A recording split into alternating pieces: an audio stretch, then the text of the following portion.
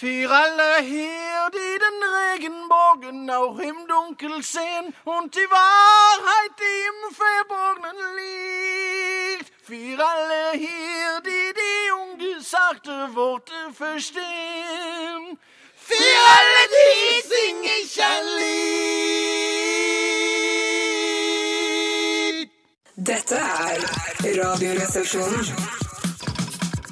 Det hele tatt er jo resepsjonen stedet.